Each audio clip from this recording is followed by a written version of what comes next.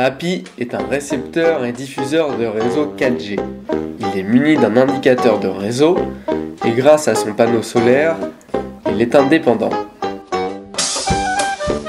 Il se colle sur les pare-brises transformant les véhicules en bornes 4G.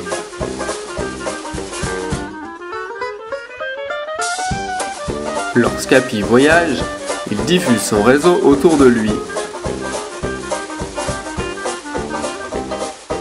Et quand il s'arrête pour stationner, il pollinise les lieux de sa 4G.